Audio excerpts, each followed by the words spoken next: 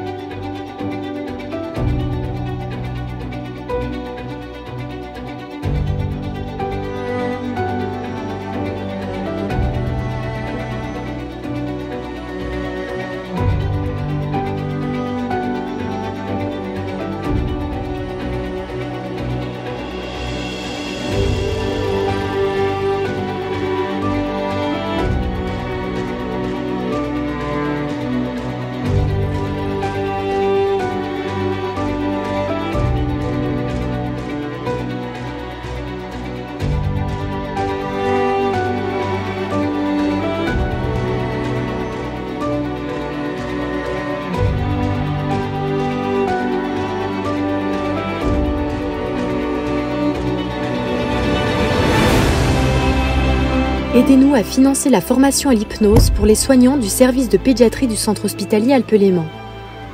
Pour faire un don, contactez l'association Mimibou. Association-agence-mia.fr